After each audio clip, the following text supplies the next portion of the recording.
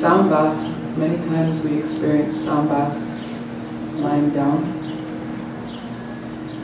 But equally, we can be seated and experience the healing power of these sounds. I would love you to actively try to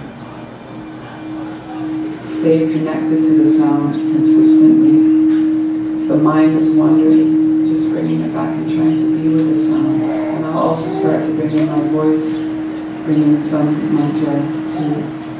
So this is a practice of engaging with sound and allowing it to have a clearing, resetting, like spring cleaning effect.